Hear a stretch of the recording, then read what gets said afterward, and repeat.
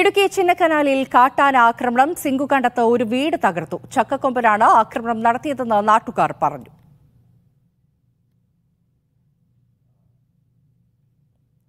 സിജോ വർഗീസ് ചേർന്നു സിജോ വിവരങ്ങൾ.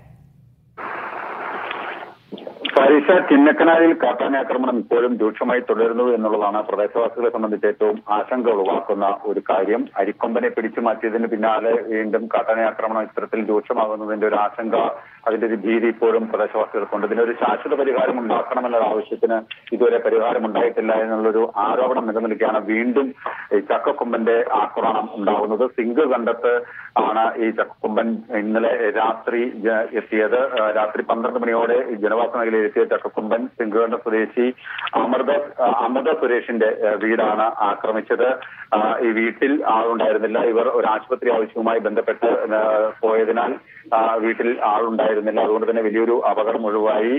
ഈ അമൃതയ്ക്ക് ആ, പിതൃ സ്വത്തായി ലഭിച്ച ഒരു സ്ഥലത്താണ് ഈ താൽക്കാലികമായിട്ടുള്ള ഒരു വീട് ഉണ്ടാക്കിയിരുന്നത്. വീടിന്റെ വീട് ഭാഗികമായി തന്നെ തകരുകയും ചെയ്തിട്ടുണ്ട്. വീട്ടുപകരണങ്ങളും നശിക്കുന്ന ഒരു സാഹചര്യമാണ് ഉണ്ടായത്. ഈ പ്രദേശത്ത് തന്നെ വ്യാപകമായിട്ടുള്ള കൃഷിനാശവും ഉണ്ടാക്കിയിട്ടുണ്ട്.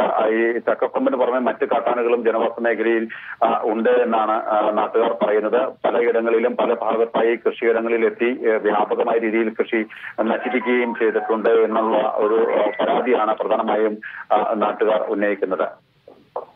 ശരി ചിന്നക്കനാലിൽ കാട്ടാൻ ആക്രമണവും ശല്യവും രൂക്ഷമാവുകയാണ്. സിംഗു കണ്ടെത്ത ഒരു വീടാണ് ചക്കക്കുമ്പൻ ഇപ്പോൾ തകർത്തിരിക്കുന്നത്. വിവരങ്ങൾ നൽകിയത് സിജോ വർഗീസ് ഇടുക്കിയിൽ നിന്ന്.